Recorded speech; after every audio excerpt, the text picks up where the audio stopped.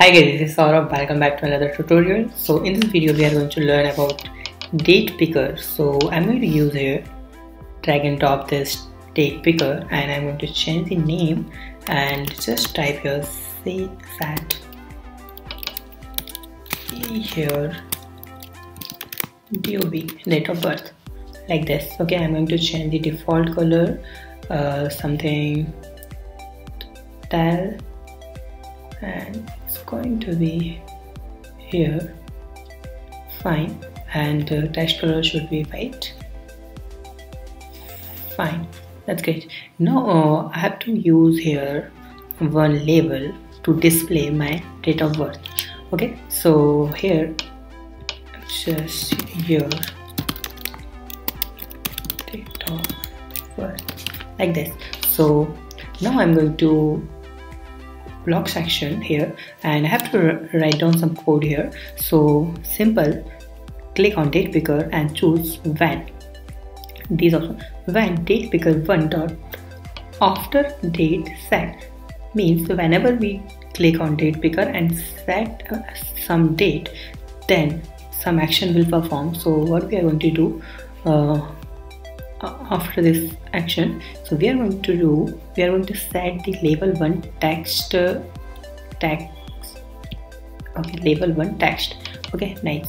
So uh, here what should we have to do? We have to uh, use here get the value of date picker day date month and year. Okay? So how to do this? So that's very simple. First we are going to use here join to join the text and uh, here click on date picker and select here date picker dot day. Click on like this and use here one more string one more. Fine I think one more. Okay and use some dummy text for separate the date and years. So I'm going to use dash here. And now copy and paste this block and select change here date to month. Date picker dot month. Oh. Okay so you can do one very simple thing. Click on date picker and here you have to choose the date picker month option. So where I will get this month option? That the month option. Simple. Get it. And now again dash and the last one is year. So I'm going to select the year. So got it? Like this. That's very simple. Okay so now I'm going to show you this how it's work. So here's my emulator.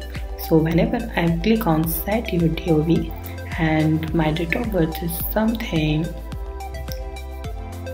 2007 7 and it's July so it should be 7 and click on ok 7 7 2007 that's my date of birth right here.